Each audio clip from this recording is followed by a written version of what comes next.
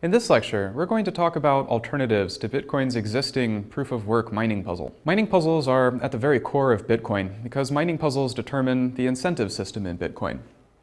Bitcoin miners get rewards for the puzzles that they solve.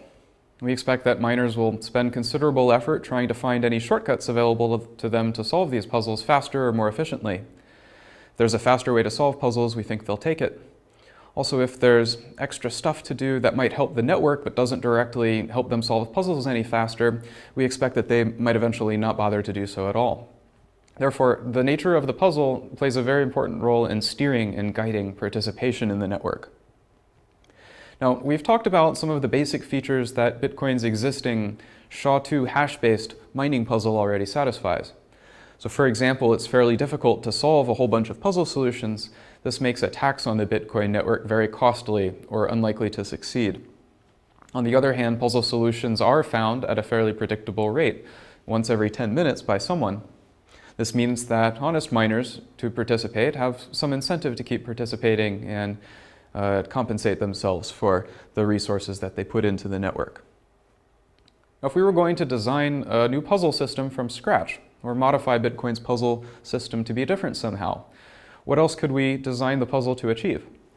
What other kinds of behaviors would we like to encourage or disincentivize? In this lecture, we're going to talk about a variety of possible alternative puzzle designs. Some of them are already used in practice in altcoins existing today. Others are research ideas that might turn out to be used in the future. The puzzles that we'll look at can achieve a variety of possible goals such as ASIC resistance, which means leveling the playing field between users with ordinary computing equipment and users with special optimized custom hardware. We'll also look at puzzles that discourage users from delegating their participation to directors of large centralized pools. And we'll look at useful proofs of work that have some intrinsic social benefit.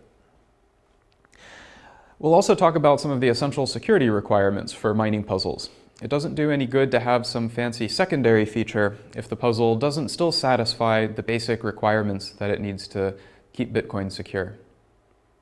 Before going into the alternate puzzle designs, let's talk a little bit about some of the essential requirements that any viable mining puzzle has to satisfy. Now there are many possible requirements. We've talked about some of them before, Mining puzzles need to be cheap to verify the solutions because every node on the network validates all of the puzzle solutions, even ones that aren't involved in mining directly. Puzzles also have to have adjustable difficulty so that the difficulty of the puzzle can be adjusted over time as new users join the network with increasing amounts of hash power contributed. I'm only going to talk in detail right now about one other essential requirement which is a little bit subtle. This is that the chance of winning a puzzle solution in any unit of time should be roughly proportional to the hash power contributed.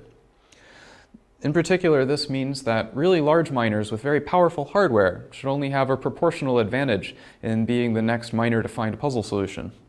Even small players should have some proportional chance of being successful in receiving compensation. Now, to illustrate this point, let me show you an example of a bad puzzle that doesn't satisfy this requirement. Consider a mining puzzle that takes exactly n steps to find a solution.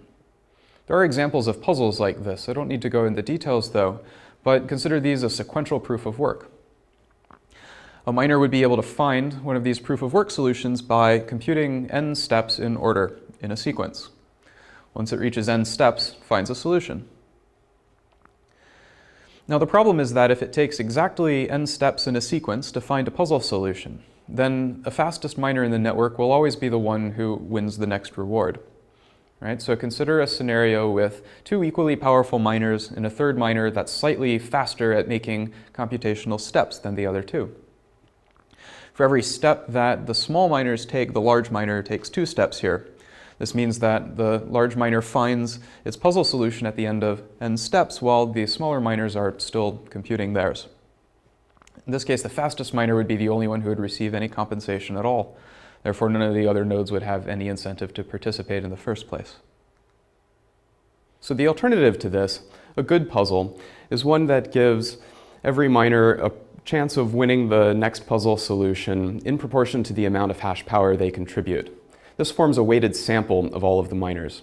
So imagine throwing a dart at a board randomly at a board of different sized targets where the size of the target corresponds to the mining power. The more hash power you contribute, the better your chance of being the node that finds the next puzzle solution. A puzzle that has this property is sometimes called progress-free. Now, this was just one of the requirements. There are others, but for now, we're going to move on to types of alternative puzzles, and we'll discuss essential requirements as they come up.